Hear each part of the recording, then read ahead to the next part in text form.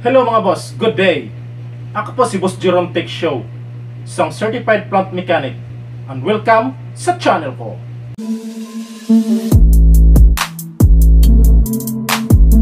Kung gusto mong matuto ng mga diskarte at techniques sa pang-mechanical related works, dito sa channel ko ay mahanap mo ang sagot sa katanungan mo. At ang topic natin sa araw na to ay tungkol sa pagbasa ng dial gauge sa pinakamadali na paraan at kung bago ka pa lang nakapasyal sa channel ko, ay huwag kalimutang mag-subscribe at i-click na rin ang notification bell para palagi kang updated sa mga bago kong videos na i-upload. So, huwag na nating patagalin pa. Roll muna natin ang intro at magsisimula na tayo. Let's go!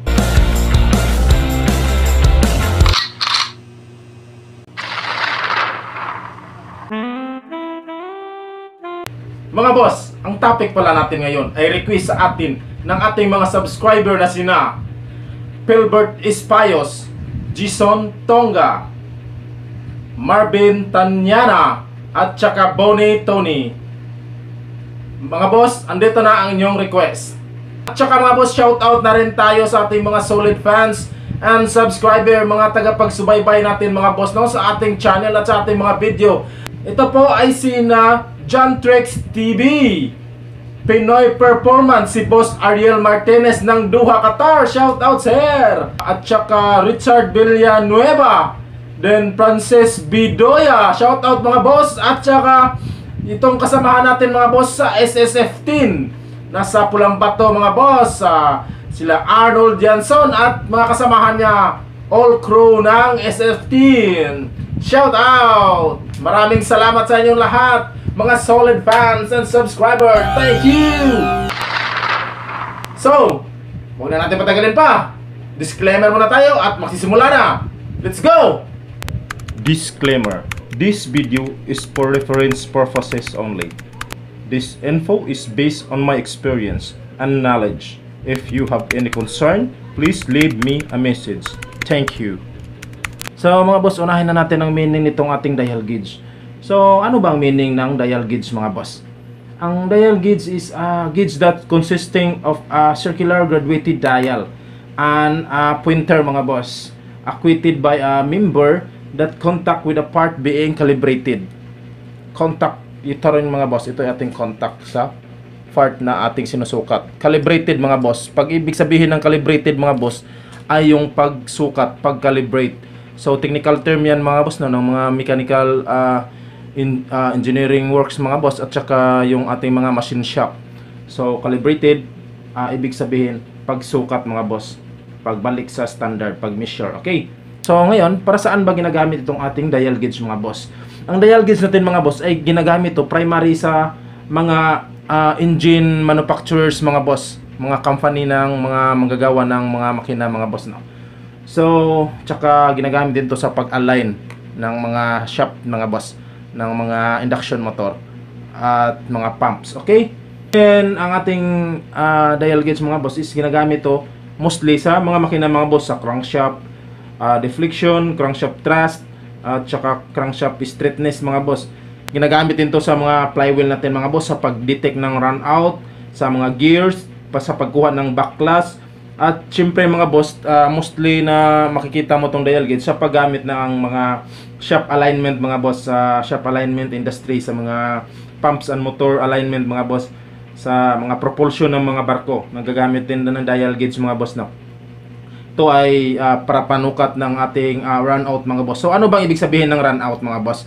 Ito ay untrue movement of a rotating object. Then merong dalawang klase mga boss na run out ito yung axial, axial run out at radial run out. So, uh, meron ding axial clearance mga boss. Ito yung uh, axial free movement of uh, object mga boss no. Pag sinabing axial run out mga boss, ito yung uh, wobbling movement of gears, uh, flywheel and coupling at iba pa mga boss no na may mga shaft at uh, nag-rotate na mga movement. So itong dial natin mga boss ay pwede niyang basahin ang mga uh, hindi stable na bouncing back and forth or negative and positive mga boss na mga movement mga boss no. So, axial free movement mga boss. Ano bang ibig sabihin ng axial free movement? This is uh, back and forth movement of gears, flywheel and coupling etc. mga boss. Basta may mga movement na back and forth. So, ang mas magandang example nito ay itong gear mga boss. Katulad ng ipapakita natin dito sa ating screen. Okay. Okay mga boss, isunod natin ang ating ah, pagpangalan ng ating ah, buong dial gauge mga boss. Ang mga parts nito mga boss no. So, unahin natin tong ating tip mga boss. Ito yung tinatawag na tip or ah, point of contact mga boss. So, itong ating tip mga boss is movable to mga boss or placeable to. Pwede tong palitan mga boss. So, matanggal to. Meron tong thread, meron tong screw mga boss. Oh. Yan. Yan, ito mga boss. So, meron ding mga specified or mga nabibili na tip mga boss ah, ating para sa ating dial gauge. So, pwede tayong pumili mga boss, no. So, ito, since ito ang nandito is pwede na to kahit sa anong posisyon, kahit sa anong mga panggamitan natin mga boss na tip. Meron tong rolling element dito mga boss yan. Meron tong parang bull. Okay? So, balik natin mga boss ah. Ayan. Then, ah, sunod na ito ipakilala mga boss. Ito ang ating polar. Yan, ito ang ating polar mga boss. Ito yung gumagalaw mga boss. Ito yung nag ah, sunod ng point of contact or ng tip natin. Ito yung kasunod niya. Ito naman yung ating stay mga boss. Yan. Ito yung ah, housing ng ating polar mga boss. Okay? So, ito naman. Yan, ito ang ating ah, circular body or circular dial body mga boss. Ah, pwede ditong tawagin natin na case. So, napapaloob dito mga boss no. Itong ating ah, graduated ah, dial mga boss. Yan, itong may mga numero mga boss. So, ang pangalan nito is graduated skill or mean skill mga boss. Okay? So, itong ating circular body mga boss is gagalaw to mga boss. Yan, para sa pag-adjust. Yan. So, gumagalaw-galaw to mga boss. Itong ating bago na ah, dial gauge mga boss no is medyo matigas ang kanyang circular body mga boss. Tapos ito naman ang ating ah, lock mga boss. Yan, scale lock. Ito yung lock ng ating circular body para hindi na siya magalaw mga boss. Ito naman yung ating dust cap mga boss. Ito yung uh, nag-seal or nagsisirado para di maka ah, pasok ang ating mga dumi dito sa ilalim kasi itong dial gauge natin meron itong mga gear mechanism sa ilalim mga boss. Then mga boss, usapan natin dito sa loob ng ating ah, dial gauge mga boss no. So kung makikita mo mga boss, ito yung ating ito. Ito yung tinatawag na revolution counter mga boss. Kada one division nito is equals to one revolution mga boss itong ating revolution counter, okay? Yan. So medyo lalapitan natin ng konti. Yan. Revolution counter yan mga boss, okay? Then, ito naman ang ating tinatawag na, itong mataas na kamay niya mga boss, ito tinatawag na long hand or uh, pointer mga boss or dial mga boss, pointer or dial, okay? Then, ito naman, itong maliit mga boss, ito yung tinatawag na short hand dito sa ating ah, revolution counter mga boss, no? Then, yung ating dial mga boss is meron itong tinatawag na ah, resolution or list count mga boss. So, ayan. Yan. Ito ang ating list count mga boss. 0.01 mm. Ang kanyang pinakamaliit na pwedeng basahin mga boss. So 0.01 mm nilagay nila dito. So kada guhit dito sa ating main scale mga boss is composed of 0.01 mm mga boss. Ang kanyang ah, unit mga boss, ang kanyang reading. So 0.01 mm ang unang guhit, tapos 0.02 mm ang pangalawa, then hanggang dadating ka dito sa 10. So ang 10 mga boss is 0.10 mm to mga boss. Then tuloy-tuloy na mga boss ang pagbilang mo. Dito 0.11 mm, 0.12 mm hanggang dadating ka sa 0.20 mm mga boss. Hanggang so on na yan mga boss.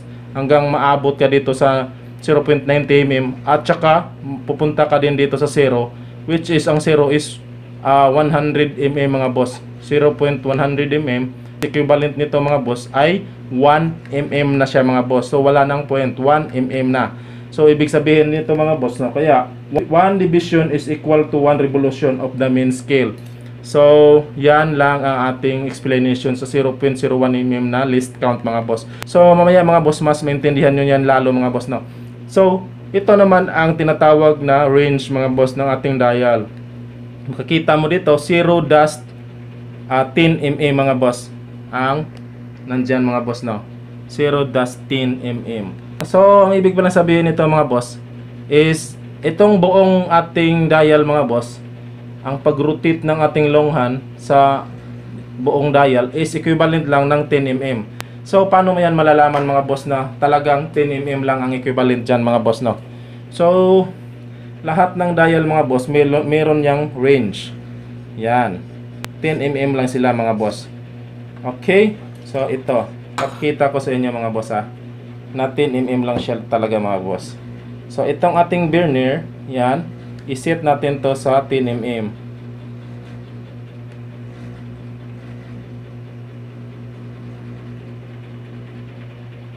yan 10 mm tapos sukatin natin to dito mga boss sa kanyang barrel. Kita nyo mga boss? Yan. Yung sukat na yan dyan mga boss is 10 mm yan. Okay. So, since 10 mm ang nan- sukat dito mga boss, so ito yung point of contact natin eh. Ito yung magre-reading mamaya sa sukatin natin. Yan.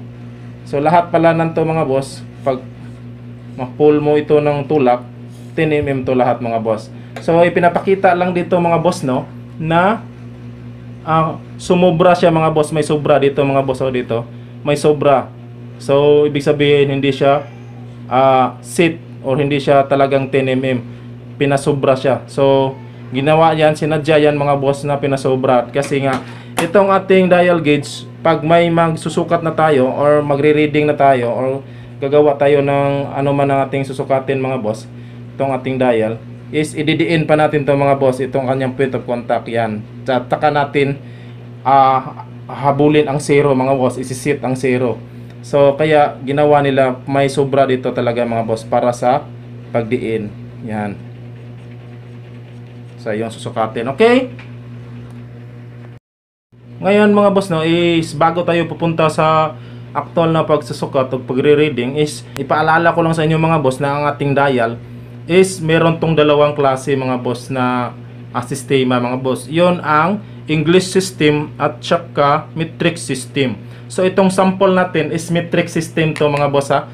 So gagawa din tayo ng tutorial para sa English system naman mga boss or imperial system mga boss na. So ngayon mga boss no, ano ba yung dapat mong tandaan para masabi mo ang yung dial ay mm ang kanyang unit mga boss or ang kanyang reading. So dito lang makita mo dito 0.01 mm. Pag may may mm yan mga boss, siguradong metric system yan. Then pag makikita mo naman sa dial mo mga boss, nasa loob ng dial mo ang kanyang range is ganito mga boss oh. Susulat ko mga boss ha. Yan. Pag sa inches ganito ang kanyang range. Yan kanyang list count tapos ganito ang kanyang range mga boss 1 inch yan mga boss so pag makikita ka ng ganitong symbol mga boss yung dalawang apostrophe ah ibig sabihin yan mga boss inches system yan nga dial mga boss okay then mga boss na baka nagtataka kayo bakit may uh, ito kulay pula na. Kulay pula to mga boss. Dalawa to ang kanyang mga numero dito mga boss. Yan. Itong 0 is black tapos 10 itong mga malalaki mga boss kulay black. Tapos meron din kulay pula mga boss na 0. Tapos dito naman pakaliwa naman ang kanyang counting. 10, 20, 30, 40, 50 hanggang dadaapot din siya sa 100 mga boss. So ang kanyang rotation nito mga boss, ang kanyang pagbilang is counterclockwise. At ito namang uh, kulay itim mga boss is clockwise. So uh, remind ko na rin sa inyo mga boss no, counterclockwise at clockwise. So ibig sabihin ng counterclockwise is salungat ng ating mga relo, ng ating mga orasan, ang kanyang rotation counterclockwise. Tapos pag sinabi mong clockwise mga boss, is kaparehas ng rotation or movement ng ating mga orasan mga boss. Okay? Then dito mga boss, makikita mo dito pag papunta ka dito sa uh, counterclockwise ang rotation ang dial mga boss. Pag magre-reading siya ng counterclockwise yan. Kasi itong ating dial gauge is pwede niyang ma-reading mga boss. Uh, counterclockwise at saka clockwise mga boss. Lalo na sa pagkuha ng mga run out mga boss no? Kasi uh, gigiwang-giwang yan. Wawabul-wabul yan ang ating kinukuha na gear. Na for example uh, gear or for example flywheel or for example coupling mga boss gigiwang-giwang yan tapos ang ang reading naman natin dito sa ating uh, pointer mga boss syempre gaganyan-ganyan din ang reading niya. Ganyan, tapos ganyan. Ganyan, tapos ganyan. Yan, tapos ganyan naman, ganyan. Pagpapunta ang reading dito mga boss sa kanan, so sa kanan, pag harapin mo to ating dial, kanan to mga boss, di ba? Yan. So, papunta dito, positive yan. Pag papunta dito sa kaliwa, ganyan, negative yan mga boss. So, marireading mo yan mga boss, no? Lalong-lalo na makikita mo to pag magkakuha ka ng deflection sa ating mga crankshaft mga boss. So, makakita ka ng mga negative na reading, tsaka positive na mga reading mga boss. So, may iba din na klase ng ating dial mga boss, no? Na may ah, negative sign dito at positive sign dito. So, di ka mawawala mga boss. Okay? Okay mga boss, so dako na tayo dito sa ating pagsusukat mga boss. So very simple lang ang pagsusukat nito mga boss no. So baybayan mo lang itong aking mga example mga boss. So ngayon, pansinin mo itong ating revolution counter. Ito, itong itong maliit natin mga boss. Pansinin mo. Ikutin ko itong ating long hand, itong ating dial mga boss. Ikutin ko ng isang revolution mga boss ha. Yan. Yan, isang revolution lang. Tapos pansinin mo ang ating revolution counter mga boss. Paak, ito, isang revolution to mga boss, di ba? So, kung makita mo dyan sa ating revolution counter mga boss, yan. Nasa number 1. Okay? Nasa number 1 yung ating revolution counter. So, ibig sabihin, umabot na siya sa isang revolution mga boss. Kasi, ah, one division nitong ating revolution counter is equal to one revolution ng ating long hand. Ba? Tapos ito, iikutin ko pa siya ng pangalawang mga boss. Pangalawang ikot. Yan. So, itong ating revolution counter, nandito na siya sa number 2. Okay? Then, ikutin ko pa ng pangatlo mga boss. Yan. So, itong revolution counter natin, nandito naman siya sa number 3. So, ang ikot ng ating revolution counter mga boss is counterclockwise. Okay? Tapos, ang ikot ng ating long hand is clockwise mga boss. So, nagka-counter ang kanilang ikot dalawa mga boss. Then, ang ibig sabihin niyan mga boss, pag aabot ka na dito sa 1, sa isang ikot, yan, pag umabot ka ng isang ikot mga boss, pag nagre-reading ka or nagsusukat ka, pag umabot ka ng isang ikot, yan, every one revolution mga boss is ang reading niyan is automatic 1 mm mga boss, okay? Ah, tandaan nyo yan mga boss ha. Tapos pag magre-revolution pa siya ng pangalawa mga boss, pangalawang ikot, 2 mm na yan, 3 mm na yan, yan, 4 mm na yan, 5 mm na yan, 6 mm na yan, 7mm na yan, 8mm na yan, 9mm na yan, tsaka 10mm. Ang zero din mga boss ay 10mm yan. Ganyan. So, ibig sabihin, 10 revolution siya. Tingnan mo, pansinin mo dito sa ating tip mga boss. Yan, sa ating tip. Di ba naubos na? So, dito mo makikita mga boss, oh. So, pansinin mo, ang range natin mga boss is 0 to 10mm lang.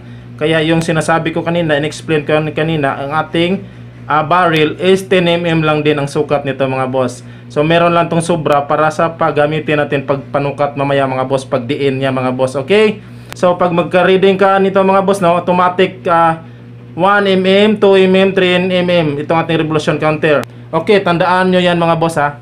Then, dito naman sa pangalawang technique mga boss no, is every graduation dito sa ating mean scale is equivalent to 0.01 mm. Na-explain ko na kanina, di ba?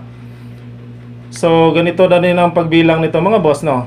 0.01, 0.01 mm, 0.02 mm, hanggang dadating ka dito sa 0.10 mm, hanggang darating ka dito sa 0.20 mm, hanggang darating ka dito sa 0.30 mm, hanggang darating ka dito sa 0.40, 0.50, 0.60, 0.70, 0.80, 0.90, at saka 0.100 mga boss. 1 mm na din siya mga boss pagdating na dito. Okay? 1 mm yan. Pag makaikot ng isang ikutan, 1 mm na yan mga boss. Tapos dito sa revolution counter, 1 mm din to ang kanyang counting mga boss. Coincide tong dalawang ah ah, short hand at saka long hand mga boss nagko-coincide ang kanilang reading. Okay? So hindi ka mawawala. Pag magdi-negative naman ang measurement mo mga boss, is meron din tong mga number, itong mga maliliit, kulay pula mga boss. Automatic din yan mga boss, kagaya kung anong reading mo dito sa ah, clockwise na reading, ganun din ang reading mo sa counterclockwise. So, ganun din din ang kanyang list count, 0.01 mm. Okay? So, ang nagka-differential lang is negative and positive na reading.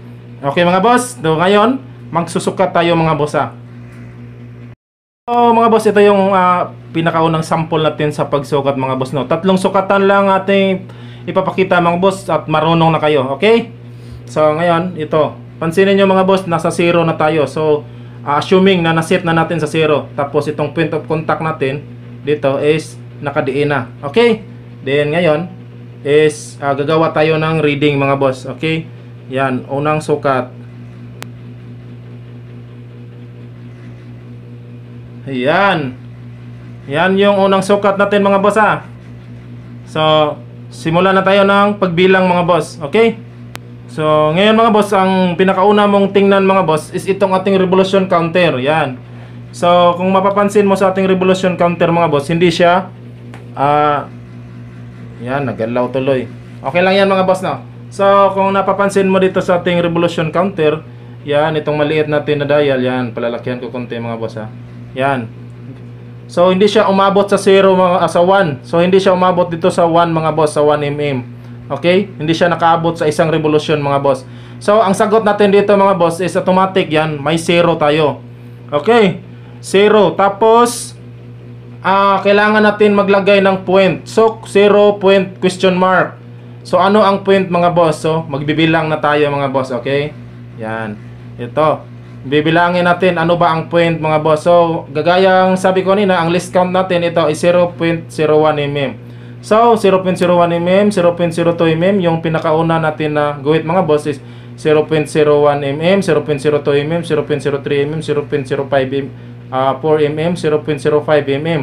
Tapos, diretso na tayo mga boss at 0.10 mm, 0.20 mm, 0.30 mm, 0.40 mm, 0.50 mm, 0.60 mm, 0.70 mm, 0.80 mm.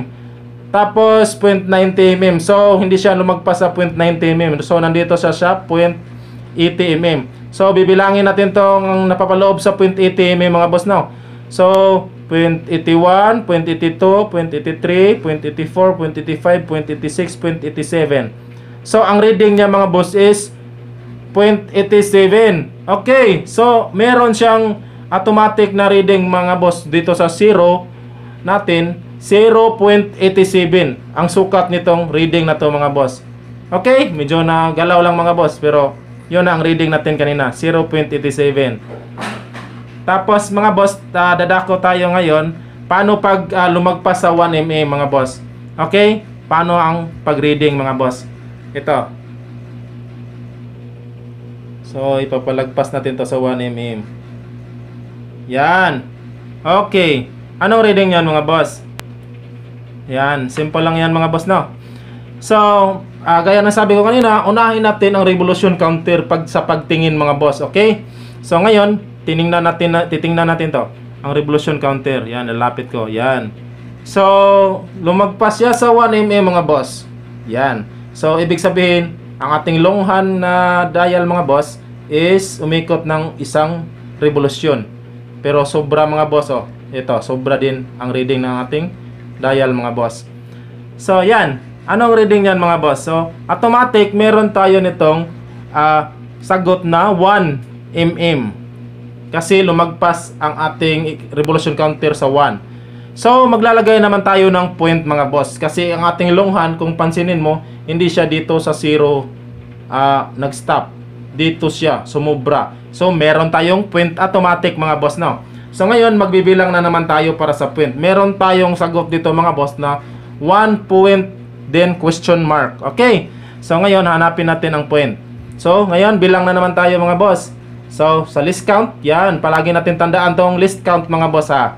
So, 0.01, pinakauna na uh, guhit. 0.01 hantad, ah, hanggang darating tayo sa 0.10, 0.20, 0.30, 0.40, 0.50, 0.60. Yan. Tapos 0.70. So hindi siya umabot sa 70. Dito lang tayo sa 60 mga boss. So hanapin natin dito. Bilangin natin 0.60, 0.61, 0.62. Yan, 0.63. So meron tayong sagot mga boss, 0.63. So ngayon, ang 1 mm natin mga boss, meron tayong sagot kanina na 1 mm kasi lumagpas dito sa 1 ang ating revolution counter. Ang point niya mga boss is 63. So ang sagot sa reading na to mga boss is 7.63 mm mga boss. Okay? Ngayon, dadako tayo sa last natin na ah, sample mga boss. 'Di ba? Napakadali lang. So ito, paano pag ah, sakto lang. Yan, itong la- last natin na sample mga boss ha.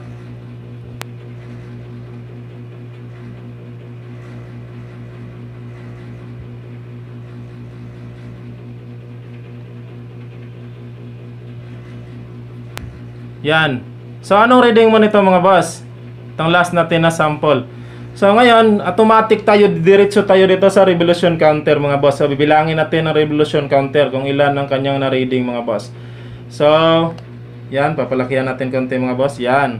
So, meron tayong 1, 2, 3, 4, 5, 6, 7. So, ang ating revolution counter, ang reading niya is 7 mga boss. So, ah, medyo hindi siya umabot sa 7 mga boss no. So okay lang yan mga boss. Kasi ang ating ah, longhan mga boss is umabot dito sa 0 mga boss. Nagtugma siya dito sa 0. Ito namang ating dial gauge mga boss is ah, kailangan pa natin i-calibrate ng konti mga boss no. Although na-calibrate ko na siya pero meron pang konting ah, error mga boss. Okay lang. So ah, assuming na lang natin to mga boss. Okay? So ang camera naman natin mga boss is medyo nasa ibabaw na ang kanang ang kanyang kuha mga boss no kaya nagkaroon ng konting gap dito. Okay? So okay pa rin, assuming pa rin yan. So nandito sa number 7. So meron tayong sagot na 7 mm para sa reading na to mga boss. Tapos ang tanong mga boss, maglalagay pa ba tayo ng point? Ngayon, ang ating longhan mga boss is nandito sa nagtugma siya dito sa 0. Itong longhan na pointer natin. So meron ba ba tong point mga boss? Siyempre mga boss, wala na tong point mga boss kasi nandito siya sa 0. Pag once na maglalagay na tayo ng point mga boss is pag lumagpas na siya dito sa 0, dyan, dito, dito, ang reading dito or dito. Yan. Tapos maglalagay tayo ng point nun. So ngayon, nandito siya sa 0 ang kanyang reading. So automatic whole number. Ang reading na to mga boss is 7 mm. So yan lang mga boss, ang dali lang ng pagsukat nitong ating ah, dial gauge mga boss no. So, ngayon mga boss, no, mag-iwan ako sa inyo ng assignment. Ito, sasagutin nyo to mga boss, kung ilan ang reading nito mga boss. Yan. Yan mga boss, sagutin nyo yan. Yan. Ilang reading yan mga boss? Sa ating dial. Okay? Dapat masagot nyo yan mga boss. Ay, comment nyo lang doon sa comment box section natin mga boss para alam ko naman mga boss kung sino ang ah, nakikinig talaga sa ating topic ngayong araw na to mga boss. So, just comment lang mga boss doon sa comment box section natin mga boss. Yan, sasagutin yan. Simple lang yan ang tanong, ang sagot dyan mga boss. Okay? So, mga boss, ah, natapos na tayo sa ating tutorial mga boss, no? Maraming salamat sa inyong panonood at pagsubaybay mga boss. Kung meron kayong mga napuna or mga nakitang mali or mga ini suggestion sa tungkol sa ating topic ngayong araw na to mga boss, is pwede nyo i-comment down doon sa ating ah, ilalim ng ating description box. Yung comment box section natin mga boss. Pwede kayo doon mag-comment mga boss. Para naman alam ko kung ano ang mga nakikita nyong mga kamalian sa aking topic ngayon mga boss. Para ah, share-share na rin tayo ng ating mga knowledge mga boss no. So, ngayon mga boss, magpapaalam muna tayo. Napakadali lang pala na magsukat ng itong dial gauge mga boss. So, uh, may papayo ko lang sa inyo mga boss, no, is palagi nyong tatandaan ang kanyang list count, ang kanyang range, at ang kanyang system of reading mga boss. Yung ating metric system at English system mga boss or imperial. So, dito sa atin ngayon mga boss is metric system to. Napakadali lang mag-reading ng metric mga boss. Doon sa inches mga boss, hindi yon madali mga boss no. So marami tayong pag-usapan at mga diskusyon dyan. So tutorial din natin yon mga boss no, paano basahin ng sa inches nito mga boss. So lahat ng measuring ah, instrument, lahat ng precision ah, measuring tools mga boss is merong list count, merong range, okay, at meron yang system of reading mga boss. Okay? So, yan naman ang para sa araw na to mga boss. Maraming salamat sa inyong pagsubaybay at panonood sa ating video ngayon. Sana ay may natutunan kayo kahit kunting ah, kaalaman or dagdag na lang kaalaman sa mga knowledge niyo mga boss, no? So, maraming salamat. God bless and thank you. Mabuhay! Bye-bye!